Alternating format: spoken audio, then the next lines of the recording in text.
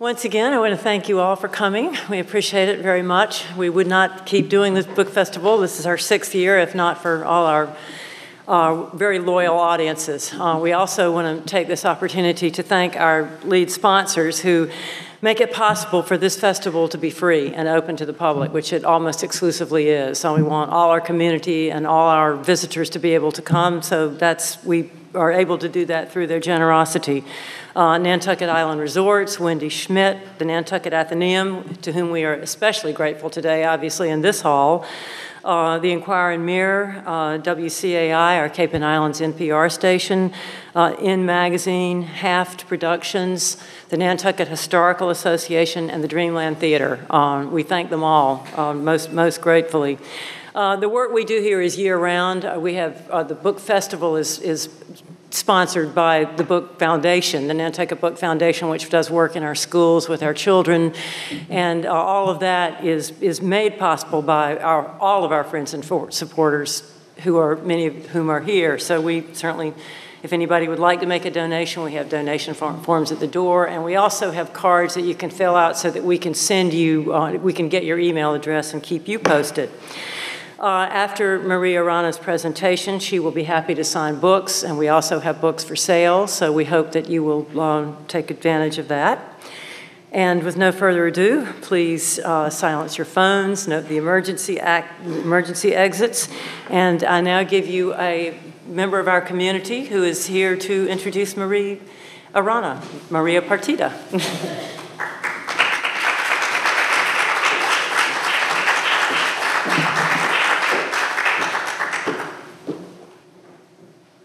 Welcome, everybody. I am honored to introduce to you an author of excellence. Their book, American Chica, made me travel back to my childhood. Living within two different cultures made me appreciate diversity as it is. I'm sorry. And made me realize that it is okay to feel that I do not belong here or there, and that my kids will have the opportunity to do great things if they know how to benefit from two worlds that they are in merge. Mary is an author of both nonfiction and fiction, senior advisor for the United States Librarian Congress, director for the National Book Festival, and a writer of large of the Washington Post. She also has written for New York Times, the National Geographic, the International Herald Tribune, Spain's El País, El Perú, El Comercio, among many other publications. Her biography of Simon Bolivar won the 2014 Los Angeles Times Book Prize. Her minor American Chica, finalist for the National Book Award. She has also written for two acclaimed novels, Cellophane and The Lima Nights. Let me introduce to you Mary Arana.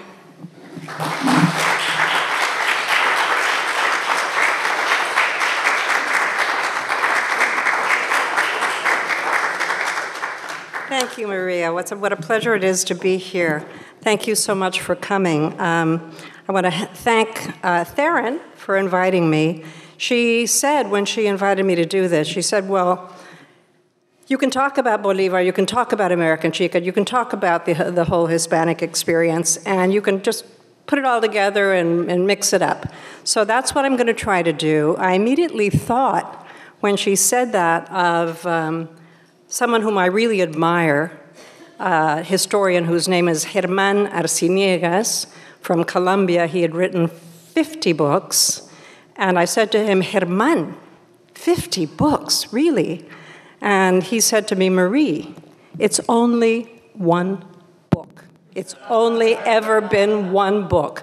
So, with Herman in mind, I'm going to talk to you as if this were all one book. Um, I, as, as Maria said, I American Chica is my story. I was born in Lima, Peru, of a Peruvian father and American mother.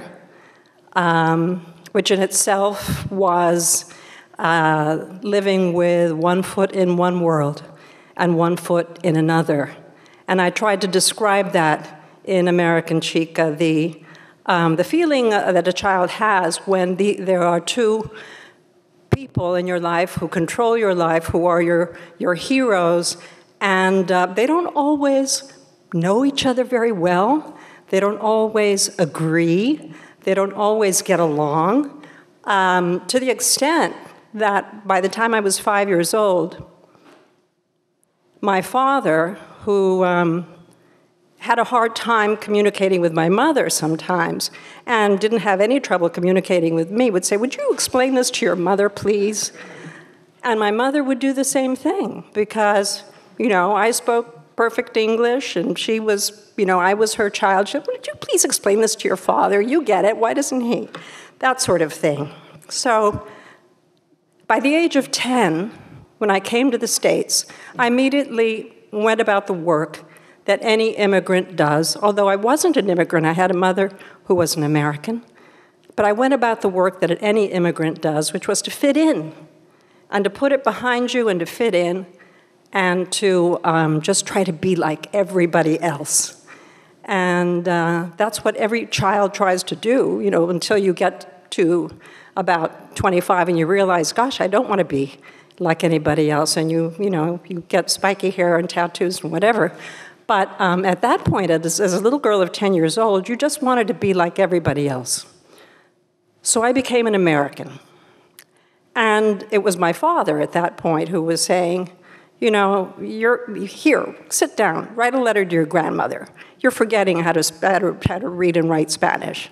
And um, so it was this sort of um, echo of that wonderful, warm life that I had in Peru uh, with a very large Peruvian family who all loved me and who, whom I loved.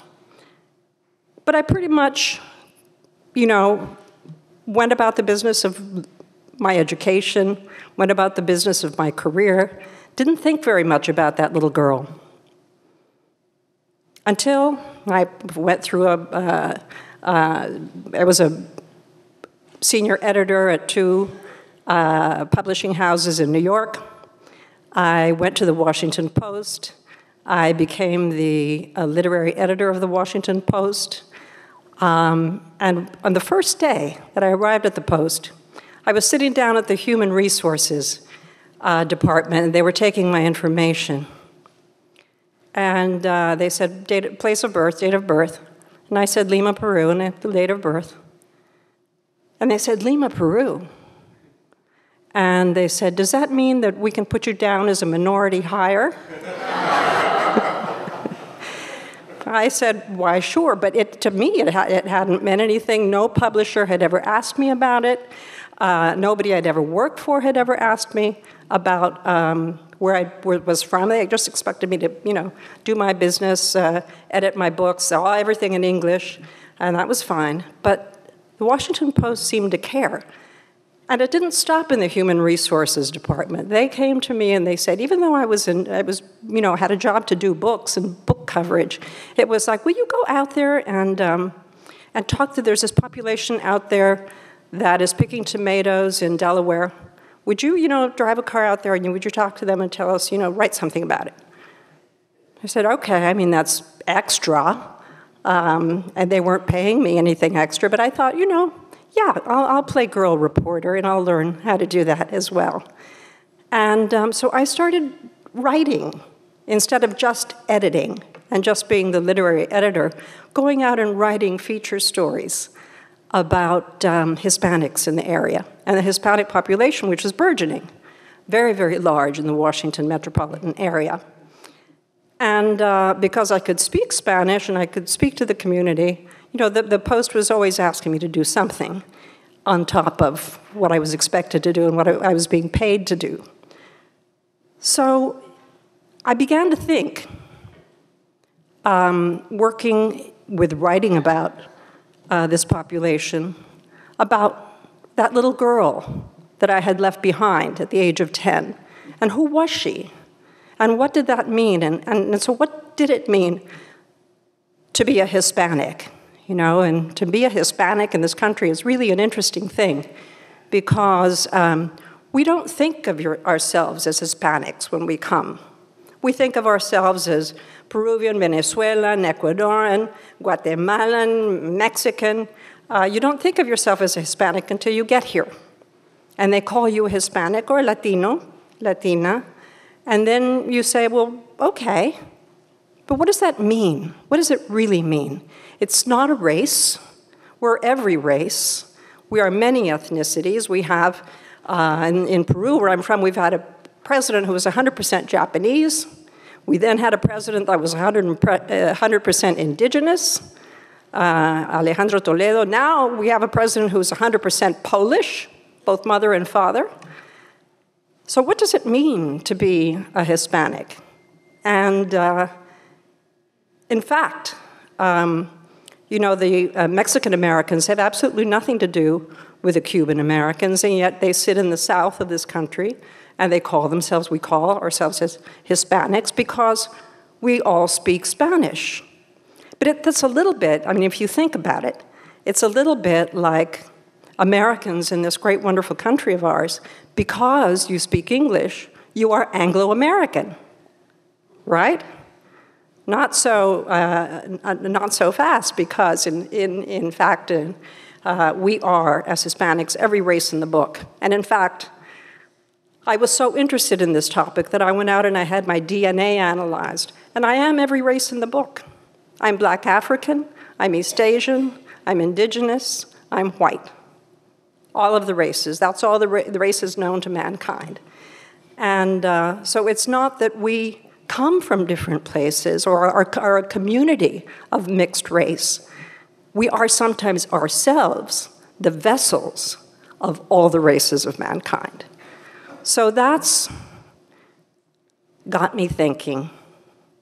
I decided to write American Chica because ultimately that relationship between my mother and my father was so interesting to me, so fascinating to me. What did that mean, and what cultures had they come from that they really fundamentally they loved each other passionately. That was evident every day. But they weren't getting things in the same way. They weren't understanding things in the same way. They had different thoughts, different concepts. And so I began to be very fascinated by that, and I wanted to tell the story of their marriage. American Chica is really the story of them, of an American man married to a Latin American woman, and what that means culturally, and what it means for a child who is actually, uh, as I said, one foot in, in two worlds, negotiating that between them and trying, and, and, and as, as Maria said, you know, not altogether fitting in to each of their worlds. You know, you feel like you're not completely part of the American world as a child of two, uh, of, of a bicultural marriage. And you don't feel completely a child of that world either. It's a new world that you've created, in a way. And from there, I decided to write a couple of novels. I mean, I had edited in uh, the publishing houses that I had worked for. I had edited, edited fiction, nonfiction. So I was, I was just toying with this whole concept of identity. And I wrote a novel called Cellophane, which is a, it's a, it's a large novel about a sort of an epic story of a family that, for all kinds of social reasons, that um, have uh, prevented them from really staying in the urban place where they had come from in Trujillo uh, out of shame, go to the jungle and create a life in the jungle. And it was part comedy and part sort of an, a, a real analysis of a Latin American family. And it was also about um, that, those social pressures in, in the Latin American society, which are very, very strong. I went from there to writing another book called Lima Nights, in which I wanted to experiment with just a very focused story of two people of different races, different ages, different classes, who fall in love in a kind of taboo way in a time of basically turmoil when, when Peru was um, experiencing uh, 10 years of terrorism for, with the Shining Path. And that allowed for something like this to happen. It was a very stark, very mean little novel, and I really enjoyed writing it.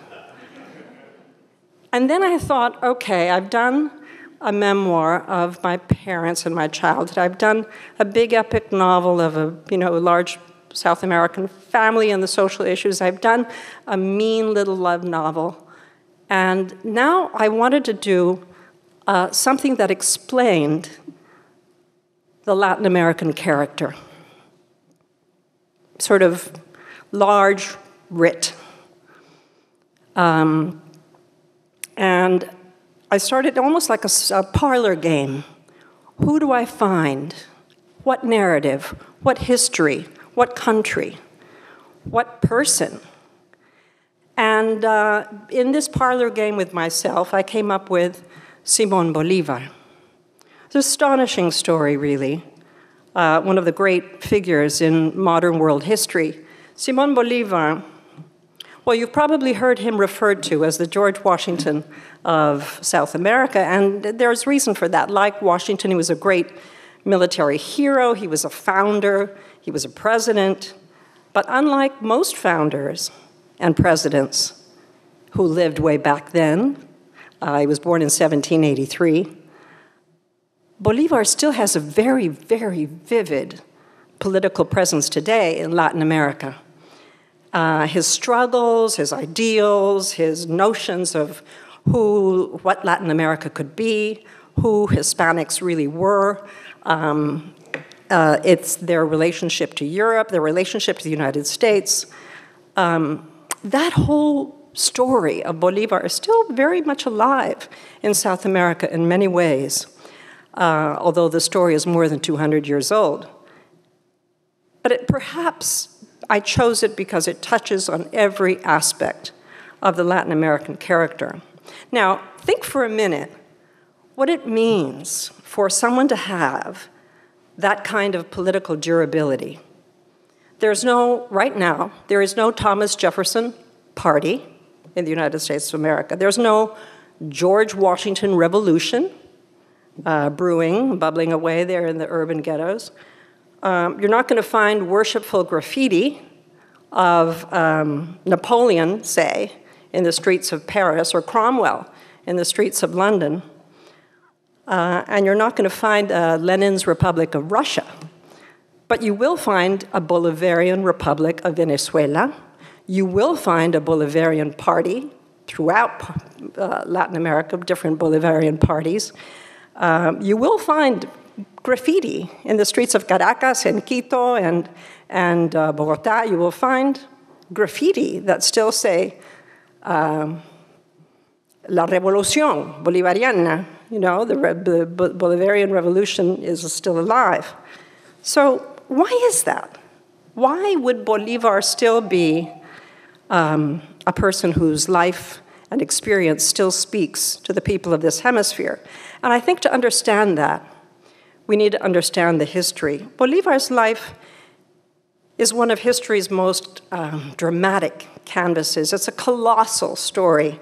Um, here is a man who sought and won the independence, uh, liberation of six nations. They are Venezuela, Colombia, Ecuador, Peru, Panama, and Bolivia. And he single handedly conceived the liberation of all those countries. And his thought was to put all those countries together to make the United States of Latin America, and it would be a bulwark against the United States of America and a bulwark against Europe. Of course, it never happened. Uh, the consolidated United States of Latin America. But think for a moment about the ambition of liberating all that land and all those republics. It was a population one and a half times the size, uh, at the times that of North America. It was a landmass the size of all of modern Europe, and the odds against which he fought, which was Spain, which was a formidable power of its time, an established world power of its time, uh, probably through Spain, the whole concept of globalism actually began. Um, and he was fighting also these vast, untracked wildernesses of Latin America. You've got the Andes, you've got the rainforest, you've got the jungle, you've got the plains, the deserts. Uh, and he was fighting a revolution through all that geography.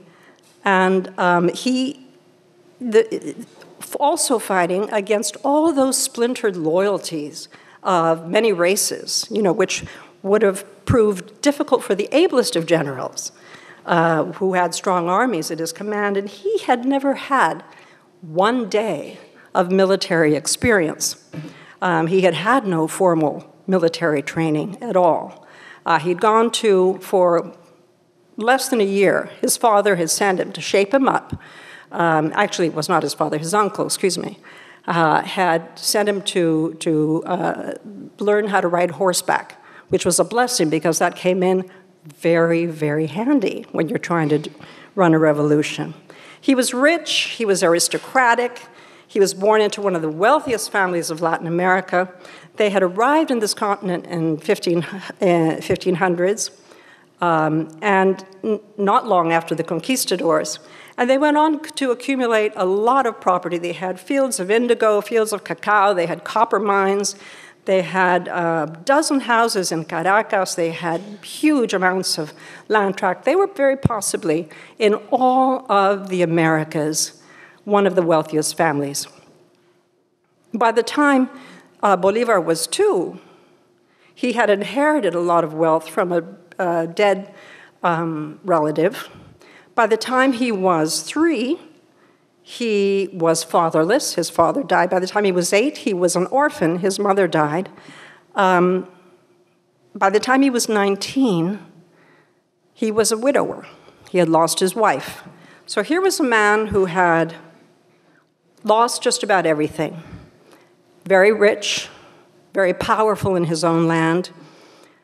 But when he lost his brother, when he, after he was thinking about revolution, and he, they, he sent his brother off to see if he could get arms in the United States of America. He never got past the Caribbean, uh, died in a shipwreck. That was when Bolivar said, That's it. I've lost my father, my mother, my wife, my brother. I'm giving myself to the revolution, which is exactly what he did. He, as his fame grew, because he immediately um, uh, began the work of the, the military aspect of the revolution. Um, he was asked to help revolutions all the way from Mexico all the way to Argentina. Uh, his wars took 14 years, imagine that. Um, there was you know, twice the time that the American Revolution took. And in the course of terrible violence, it was a horrible horrible carnage, the Latin American Wars for Independence. He was beaten back, he was exiled twice, but every time he would come back, he would say, Victory is learned in defeat, which is one of the great um, uh, Latin American aphorisms. Uh, and indeed, every time he was routed by this very superior Spanish army that had, you know, honed its, its, uh, its, its uh, talents and excellence in wars in Europe, um, every time he was routed by them, he came back stronger. Now, eventually, he learned that the only way that he was going to be able to, to, to um, really be strong against, this, against Spain is to unite all the races. And imagine what that took. The blacks, by, then, by that time, there was a huge population of black slaves in Latin America who were brought over to work in the uh, indigo fields and in the mines. Uh, mulattoes, um, Asians, uh, and there were merchants of the Caribbean and pirates and whatnot, and wild cowboys out in the plains of the Apure. And he, he got, he, he was even, um, even uh, recruiting boys who were as young as 11 and he was going into the hospitals and recruiting invalids. And off they would go, very often barefoot, very often hungry, uh, certainly indigent, and with nothing but sticks. And literally, out with a stick. And maybe if Bolivar could get the cowboys to bring in the horses, a horse. He sent um, ambassadors and emissaries for help to the United States of America. He sent ambassadors to Britain. Everybody said, Wonderful, we want Spain out of there. Everybody hated Spain. We want Spain out of, out of there. We want it to be free. We want to um, have a stake in what Latin America is in the future. But they didn't send soldiers, they didn't send arms, they didn't send any kind of munitions. So Bolivar was really, truly on his own. The only assistance he ever got was from Haiti, from the black president, uh, Alexandre Pétion, who gave him some men and gave him some couple of ships, and off he went. And he, before he did, he said, You know, one thing, that's all yours, go with my blessing, but at the end of this revolution, slavery is finished in Latin America. And Bolivar said, Yes, of course, I believe that anyway, not a problem. Um, and off he went. Now, let me paint a little portrait. How much time do I have? Not much. Uh, a little portrait of Bolivar. I mean, you can imagine he was physically very slight. This was not an imposing man. He was um, barely, I think, 130 pounds. He, um, even though he was, you know, meager chested and spindly legged, and he had hands like a, a young girl's. Um, there was an imposing presence about the man. He had a galvanic way of speaking. Uh, and he was um, so charismatic when he walked into a room, he commanded it. Um, his power was truly palpable in, in this personality that was larger than life. When he spoke, um, he, had a magnetism that would dwarf much sturdier, much larger men. He enjoyed good cuisine, but he could spend days, weeks out in the plains, out in the desert, or in the jungle with nothing at all to eat. He um, spent backbreaking hours in the saddle. He rode 75,000 miles on horseback before the revolution was over. Now, think about that. That's like going from Alaska to the very tip of South America, Tierra del Fuego, back and forth and back and forth on horseback five times. 75,000 miles. His men so admired him because very often when they were tired, he was still raring to go. They called him Iron Ass. But he was equally comfortable in a ballroom or an opera. He was a superb dancer. Um, he kept three or four secretaries a, at a ball. He kept three or four secretaries in a room because he claimed that when he was dancing, he had the million thoughts going on in his head, and that was when he would compose letters. And so he would go dashing from the ballroom off to the room where his secretaries were, and he would dictate three letters at a time, and then back to dance some more. Um, he was, he read very widely, he spoke five languages. He, um, I say sometimes that he changed the Spanish language for good in Latin America because where it used to be dusty and sort of circuitous as a language in the early 1800s, he wrote and he spoke a language that was um, absolutely immediate and spare and strong. Some of the greatest writing, really, in Latin American literature, and we're very, very lucky to have it. I, I despair when I think of, of uh, a future when you know people are tweeting and there is no uh, there's there's no actual literature that is being captured. I mean, when you think of Ulysses S. Grant's writings or Thomas Jefferson's writings or Bolivar's writings, and uh, it's all because it was kept and it was um, written in a very careful manner. Um, when Bolivar claimed, claimed his first liberation, slavery was very, very strong in this country. It was probably the, the largest GD, G, uh, gross national product um, that the country produced was because of slavery, and sla slavery was the engine for it. And so the last thing that John Quincy Adams or, or um, the James Monroe or any, any of the Madison, anybody wanted to do was to help a revolutionary who was using slaves, because what it would suggest to the system in this country would be untenable. So he, he, he, he, he um, got no support from the United States on that matter. In fact, there was a, uh, a bit of a scandal here, not too far from here in, in Boston, when um, John, uh, President John Adams' son tried to, actually was very sympathetic and tried to raise arms and got into a lot of trouble for it and ended up in the pokey for a little while because he was trying to raise arms for, for Bolivar.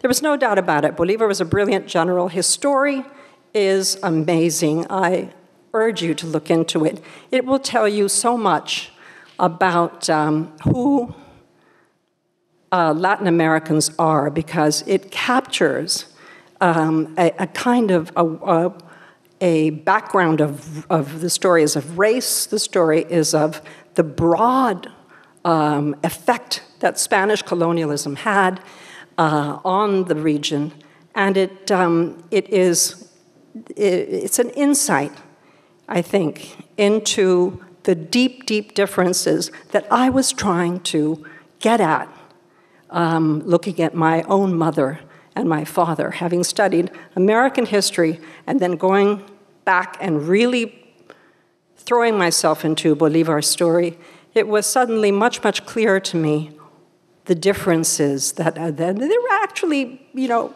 irreconcilable differences between the Latin American and the North American, the South American, the North American experience.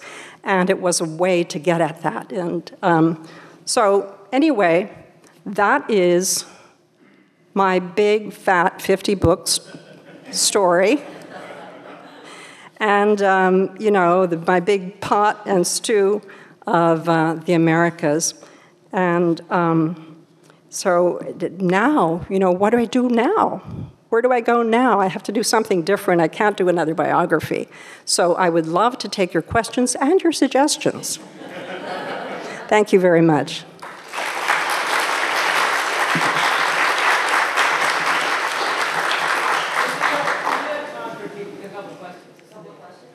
Yes, please. As you wrote Bolivar, did you start to, um, do you feel like you were made fairly impartial? Did you start to kind of have a, a message beyond recounting information? Did you, did you start to see yourself evolve? Do you think you have a message beyond imparting, beyond imparting the Latino?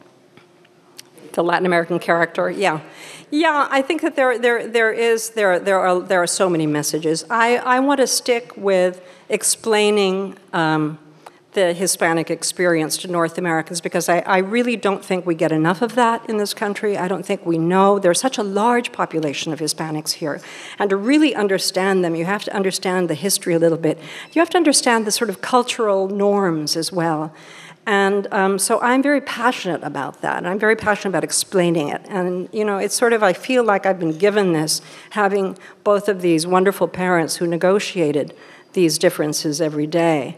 Um, and uh, in as much as, and I go down to, to Peru every year, you know, my husband and I um, have a place in Lima and we go down there. I still have a huge family. And I find myself explaining the United States, um, which is, you know, sometimes a little more complicated. but thank you.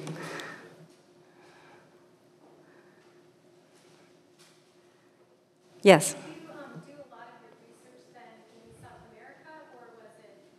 You know, I did all my research in two places. Um, one was I, was I was lucky enough to be invited to be a fellow at Brown University. They have a wonderful collection of Latin American um, stuff, and they have they're particularly interested in Bolivar. They have a whole room, Bolivar room, which I was able to sit in and sort of soak up the the good vibes. But um, and the other place was the Li Library of Congress. The Library of Congress is it's extraordinary. I mean, there is no Latin American country or Latin American library that can offer you what the, the Library of Congress does. And, and people don't realize it has one of the largest um, Hispanic collections, African collections, Asian collections. It's just a, a, an amazing place. So, and I'm, you know, David McCullough, who says, you know, I, you know, I wrote that book on, on Paris and France, and I never left Washington, D.C. Well, I mean, it can be done. Thank you for the question. Speaking of institutions and libraries, though, I want to mention, especially because my friend Jay Hammer is sitting there, um, a passion that we have in common, which is the American Writers Museum. And if you haven't heard about it, please look it up online. It's the AmericanWritersMuseum.com, which has just opened its doors in Chicago. Uh, just in, what was it, May 15th? May 16th, opened its doors. It is the first museum of American writers in this country. And they have, you know, museums of Irish writers in Dublin. They have museums, you know, of, of, uh, German writers in Berlin. They don't. Ha- we haven't until May 15th had an American Writers Museum. It's a wonderful place, and I hope you look into it. And if you're in Chicago, go see it. It's a marvelous institution. Great, great collection of, of American, um, sort of Americana that you would love. Thank you very much for coming. Very pleasure.